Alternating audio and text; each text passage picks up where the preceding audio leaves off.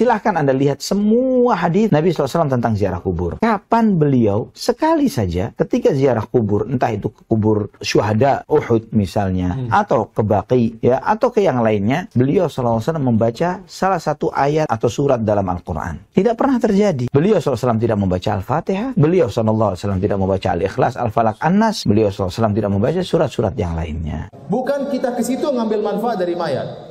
Jadi banyak dikatakan ziarah-ziarah yang bid'ah itu adalah datang ke kuburan untuk mengambil manfaat dari mayat. Padahal seharusnya sebaliknya, mayat yang butuh bantuan kita kepada mereka.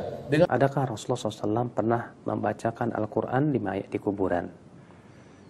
Ternyata kita tidak pernah mendapatkan hal itu. Tidak pula dilakukan oleh para sahabat Nabi kecuali dalam riwayat-riwayat yang lemah. Kawan, kamu teruskan baca Quran di kubur dan ini disebutkan oleh Imam Syekhul Islam Ibn Qayyim Al-Jauziyah Imam Salafi yang mentartib ajaran Ibn Taimiyah yang bergelar juga Syekhul Islam. Dua-duanya Imam Salafi. Bismillahirrahmanirrahim. Coba lihat cerita Imam Ahmad kisah Imam Ahmad Imam Salaf bukan Salafi Salaf imam terdahulu, salafi imam yang ingin ikut imam-imam terdahulu. Bisa bedain ya? Salaf 300 tahun pertama, salafi ulama setelah 300 tahun yang ingin ikut ulama 300 tahun itu. Imam Ahmad wafat tahun 241 Hijriah. Beliau radhiyallahu taala anhu wa rahimahullah suatu kali mengantarkan jenazah dengan kawannya. Imam, saya ingat saya namanya Imam Al-Jauhari, ya. Ibnu Qudamah Al-Jauhari. Atau Ibnu Qudamah saja. Itu ada di riwayat Al-Lalikai, Ar-Ruh Ibnu Qayyim dan kitab-kitab yang lain. Sanadnya sahih. Disebutkan di situ bahwa Imam Ahmad melihat ada orang buta lagi membaca Al-Quran di kubur. Apa kata Imam Ahmad? Eh, muhdath. Nah, udah kayak bahasa Indonesia kan? Hoi, bid'ah gitu. Bahasa Arabnya muh, muhdath. Kawannya ini Imam Ibnu Qudamah yang senior itu tidak mau berdebat di kubur.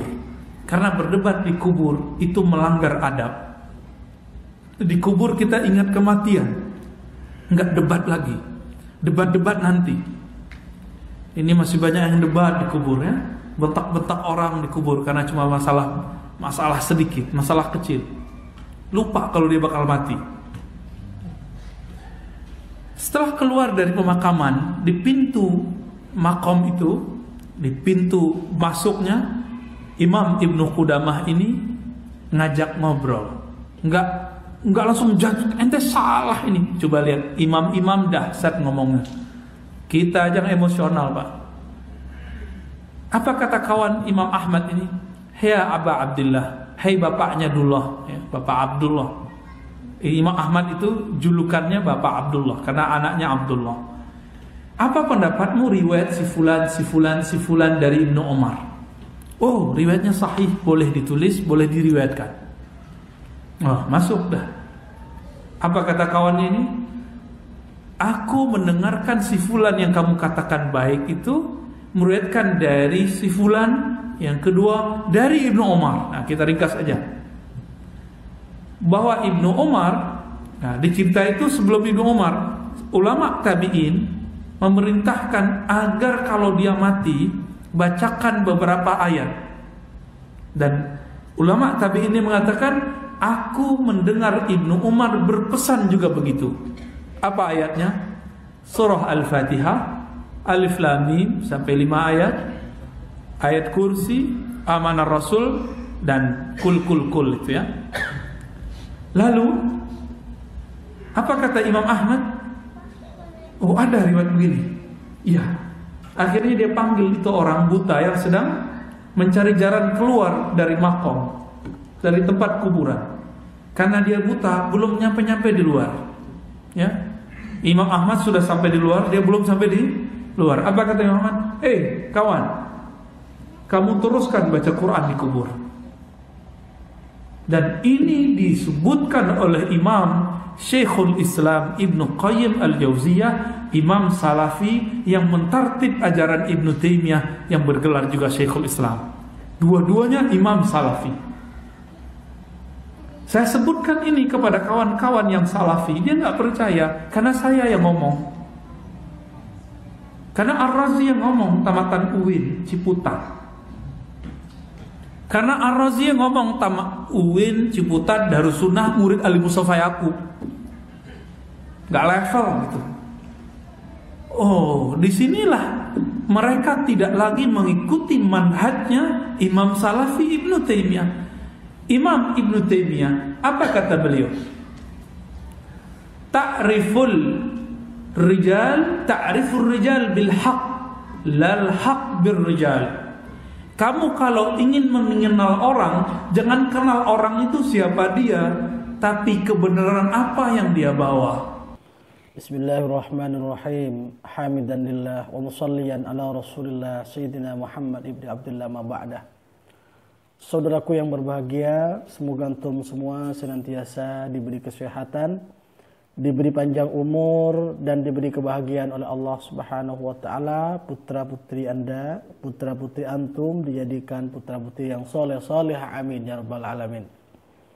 Saudaraku yang berbahagia, kita sering melihat saudara-saudara kita membaca Al-Quran di kuburan. Kalau kita datang ke Sunan Ampel, terlebih pada malam Jumat, di situ banyak orang sekali baca Al-Quran di dekat Mbah Ampel. Di berbagai tempat juga demikian. Kami tanpa ingin memaksakan orang lain untuk senantiasa harus mengamalkan sebagaimana apa yang diamalkan oleh warga sunnah wal jamaah di Indonesia ini tidak tidak harus ikut kami tetapi kami ingin memberikan penjabaran penguatan dalil bahwa apa yang dilakukan oleh warga sunnah wal jamaah ini ada dasar ada landasan sehingga kita tidak boleh menyalahkan apa yang telah dilakukan oleh warga Ahlussunnah wal Jamaah dalam hal ini adalah ziarah kubur atau membaca Al-Qur'an di kuburan. Landasan pertama adalah sebagaimana di dalam kitab Al-Um juz 1 halaman 322 di situ disebutkan bahwa Nabi Muhammad SAW itu bersabda wahibbu law quri'a indal qabri wa du'iya lil mayyit Walaysa fi dzalika du'aun muaqqatun. Saya senang jika dibacakan Al-Qur'an di dekat kubur dan doa untuk mayit dan tidak ada doa tertentu waktunya dalam masalah ini. Jadi Nabi itu senang kalau ada orang baca Al-Qur'an di dekat mayit.